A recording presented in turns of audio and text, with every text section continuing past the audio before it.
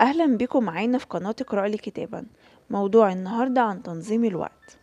في نظريات كتير ظهرت لتنظيم الوقت منها نظرية عشرين على تمانين لباريتو ونظرية قانون باركنسون. وكمان في نظرية تسمى مصفوفة الأولويات لستيفن كوفي وهي دي النظرية اللي هنتكلم عنها النهاردة.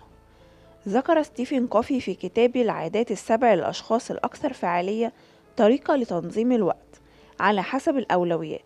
على هيئة مصفوفة لترتيب الأولويات.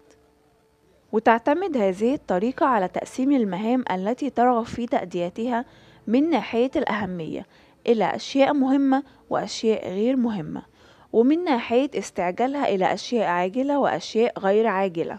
ورسم الترتيب ده في جدول قسمه لأربع مربعات. هنشرحهم مع بعض.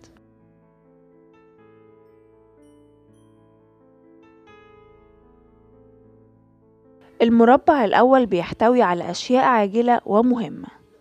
في الخانة دي بتشمل الأزمات والمهام المفاجئة التي لا يصلح تأجيلها وأغلب هذه الأشياء اتأجلت في الماضي زي امتحان كان من الأفضل بدء الدراسة ليه من فترة أو بحث كان لازم تبدأ الشغل فيه ومهام تانية كتير زي كده. وفي كمان أشياء طارئة اللي ظهرت فجأة لكن احتلت الأولوية مثلا مرض أحد أصدقائك وضرورة زيارته أو أي حدث طارئ وطبعا ده اللي بيحدده الشخص نفسه. ونصيحة ستيفن كوفي في هذا الجزء هو محاولة التخطيط للأحداث دي والتعامل معها فور ظهورها.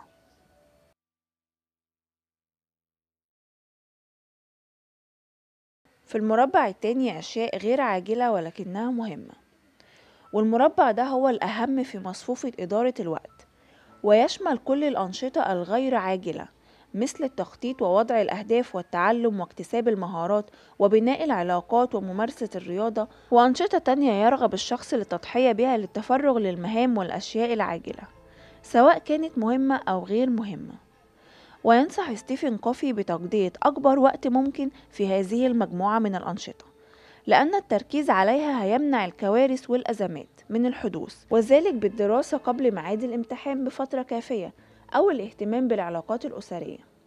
وبما أن كوفي بينصح بتقضية أطول فترة ممكنة في هذا المربع فكمان بينصح بالتقليل من الوقت اللي بيقضيه الإنسان في المربعين 3 و4 وتقضية الوقت المتوفر في مهام المربع رقم 2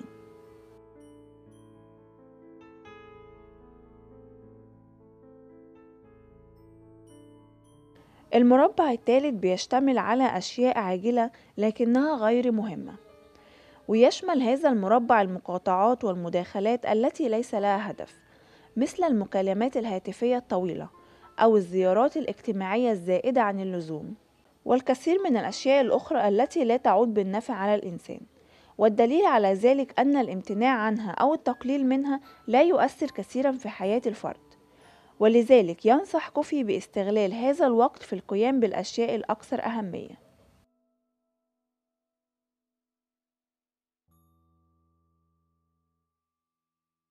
أما المربع الرابع والأخير فيشمل الأشياء الغير مهمة وغير عاجلة.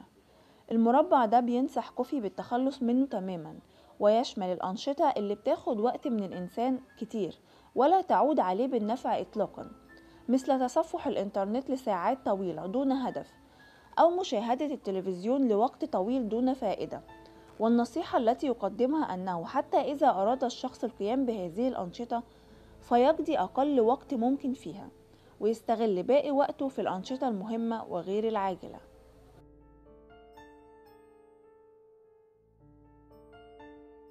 أتمنى الموضوع يكون عجبكم وشكرا جدا للي عجبه الفيديو وعمل لايك. وياريت اللي أول مرة يشوف القناة يشترك معنا